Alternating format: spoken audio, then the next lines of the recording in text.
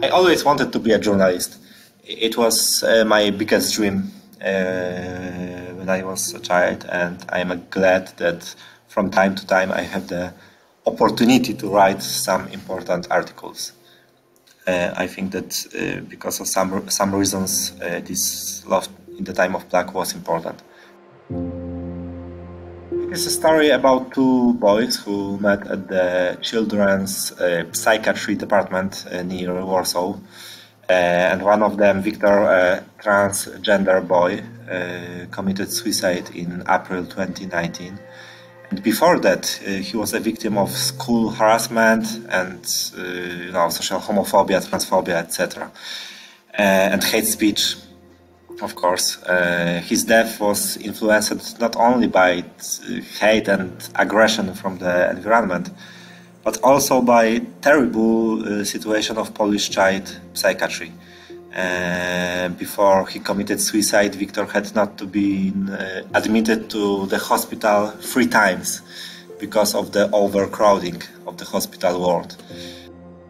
The impact was very, very high, really. And first uh, of all, public discussion. Second, the reaction of politicians. Every candidate for, for president commented this article, and there was a lot of pressure on politicians to, to make a difference from society after this article.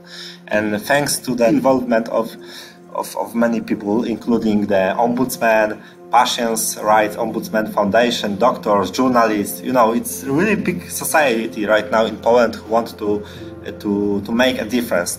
And it was it was this great uh, success that government realized that we need to do something because people uh, expect it.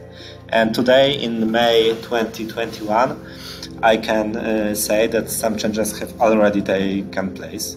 And in January, the government announced large financial support to the psychiatry system.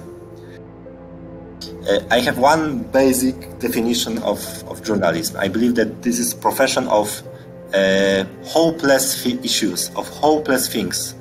Uh, we can say it uh, hopeless profession. but uh, I mean, when, when someone has a problem, they believe that the police, prosecutor, court, lawyer, priest, family, foundation, etc., will help him. Only when he uh, he's left alone, without faith in success, without faith in justice, he realized that there is someone like a journalist, and then he's going to do something very crazy uh, things. He thinks maybe I will uh, contact with journalists. Often uh, there are the journalists often who, who decides to help even through the case seems hopeless. Uh, and sometimes we, we manage to, to turn a hopeless situation into a good one. Love in the time of plague, this article changed the situation a bit.